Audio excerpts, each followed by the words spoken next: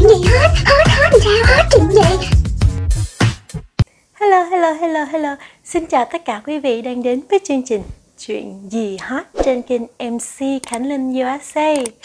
Thưa quý vị, hôm nay nhìn mặt Khánh Linh vui như vậy là quý vị biết Khánh Linh sẽ báo cho quý vị một tin vui rồi nè.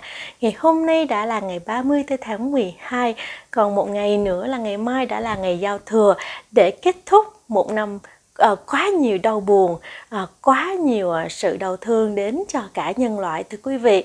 Thì uh, một tin vui à Khánh Linh muốn hỏi là quý vị đã được nhận tiền lì xì cho năm mới chưa nào? Thưa quý vị thì sau khi ông tổng thống Trump đã ký cái bill uh, 900 tỷ đô la gói cứu trợ và nó đã trở thành luật rồi nha thưa quý vị. À, và Khánh Linh có thưa với quý vị trong những video trước đó đó là nếu những ai à nếu những ai um, đã nhận được tấm check 1.200 đô la và đủ điều kiện cho cái tấm check 600 đô la này thì có thể tuần sau thì ông ờ, Mitch McConnell là Bộ trưởng Bộ Kinh tế sẽ gửi ra cho quý vị cái tấm check 600 đô la đúng không? Và ông muốn à, đây là một cái tiền lì xì gửi đến cho người dân Mỹ cho nên ông đã gửi ông đã có những cái tin tức là ông sẽ nói là tối ngày thứ ba có nghĩa là tối ngày hôm qua là ông sẽ gửi và sáng ngày hôm nay khi mà quý vị mở mắt ra quý vị mở cái nhà ben của mình ra là quý vị sẽ thấy được tiền có trong đó rồi. Không biết là có quý vị nào đã nhận được tiền hay chưa nhưng có một vài vị khán giả của khánh linh sáng nay đã báo cho khánh linh á, là đã nhận được tiền rồi. Khánh Linh không có dám làm video ngày tối ngày hôm qua vì Khánh Linh không biết đây có thật sự đúng hay không. Nhưng sáng nay có một vài vị khán giả nhắn tin cho Khánh Linh nói rằng á, là Ồ em ơi chị đã nhận tiền được rồi. À, Khánh Linh ơi à, chị có tiền rồi nhé Thế là Khánh Linh rất là tự tin và nói với quý vị rằng là Quý vị ơi à, bên à, IRS à, bên Treasury họ đã bắt đầu chuyển tiền ra rồi thưa quý vị. Cho nên chúng ta hãy cùng nhau check nhà ban của chúng ta. Nếu sáng nay mà quý vị mở nhà ban ra đó mà chưa có thấy tiền thì đừng có buồn nha. Không phải là quý vị không đủ điều kiện để nhận đâu nhưng nó phải take một hai ngày. Tại vì không thể một ngày mà IRS chuyển tiền một lần qua tất cả các nhà ban được. Người ta phải chia ra nha quý vị nha. Thì Khánh Linh được nhớ đó là hồi cái kỳ trước hồi tháng 3 đó bắt đầu là tháng 4 là người ta gửi ra là khoảng ngày 14 15 tháng 4 bắt đầu người ta gửi ra. Thì có nhiều người đó người nghĩ là mình không được tại lần đầu cũng không biết là cái điều kiện như thế nào đó. Thì đã được uh, ngày hôm sau ngày đầu tiên thì người ta chuyển tiền cho một số và ngày tiếp theo người ta sẽ chuyển thêm những số khác. Và tiếp theo như vậy trong vòng một cái tuần đó đó họ bắt đầu chuyển tiền ha. Cho nên quý vị đừng có quá lo lắng nha. Còn nếu những ai kỳ trước đã nhận check á, thì kỳ này là sáng ngày hôm nay ở bên treasury bên uh, uh, ngân hàng à, của chính phủ cũng sẽ bắt đầu gửi ra những tấm check cho quý vị.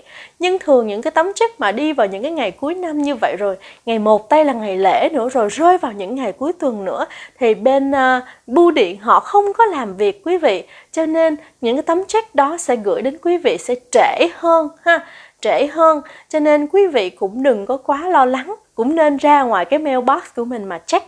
Có thể là tuần sau là quý vị sẽ có được những cái tấm check đó của mình và Khánh Linh xin nhắc lại nhé, nếu những ai à, mà đủ điều kiện thì nếu quý vị không biết là cái điều kiện như thế nào và những ai không được nhận thì quý vị sẽ coi lại cái video trước đó của Khánh Linh để quý vị biết rõ ràng và chi tiết hơn.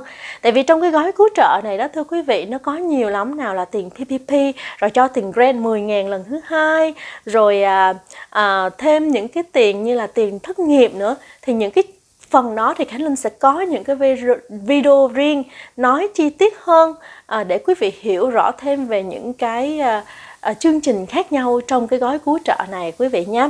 Còn ngày hôm nay là 600 đô la và nói thêm một phần nữa là những ai à, lãnh cái check 600 đô la thì nếu mà quý vị đã qualify cho cái check 1.200 và income không có gì thay đổi nhiều và dưới 75.000 đô la thì chắc chắn quý vị sẽ nhận đủ một cái tấm check 600 đô la và cũng cho 600 đô la này cho những đứa con phụ thuộc của mình dưới 17 tuổi. Trên 17 tuổi thì không có được nha quý vị. Và tấm check này họ sẽ dựa vào income của năm 2019 của mình và những ai mà sau khoảng à, 2 3 tuần thì cho Khánh Linh nghĩ là chắc chắn là khoảng cuối tháng 1 đi.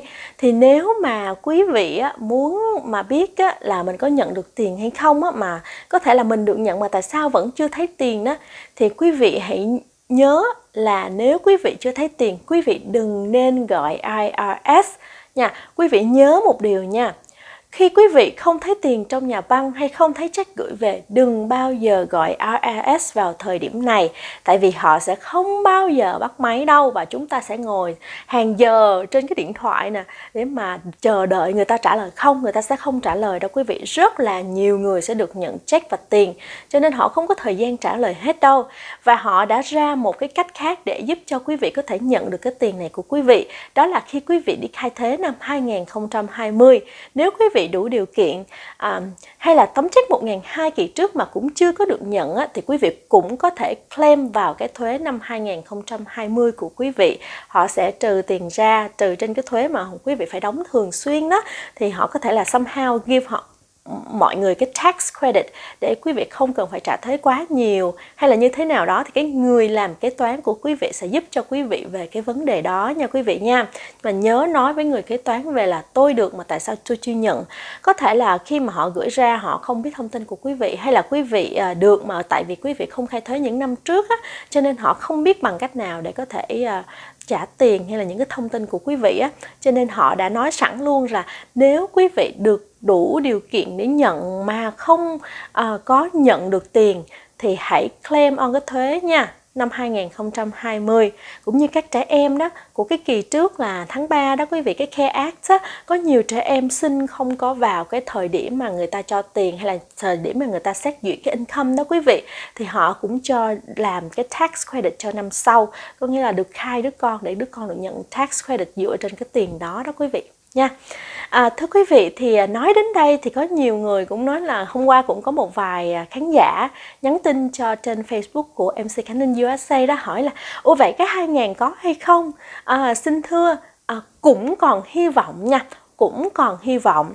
À, tại vì thực sự bên à, thượng viện á, người ta chưa có bỏ phiếu tại vì người ta đặt một vài điều kiện nữa. À, thì lát nữa Khánh Linh sẽ có những cái video nói về chi tiết hơn về cái vấn đề mà tiền check 2.000 đô la. Còn hy vọng như thế nào quý vị nhé. À, nói đến 2.000 đô la thì thực sự đó không biết quý vị nghĩ như thế nào. Nhưng là một người công dân Mỹ đó thì Khánh Linh suy nghĩ như vậy nè. À, khi mà mình nói là mình sống ở Mỹ, mình đóng thuế, cho nên nhà nước phải có nhiệm vụ và nghĩa vụ ha, là phải cho tiền mình trong lúc mình khó khăn.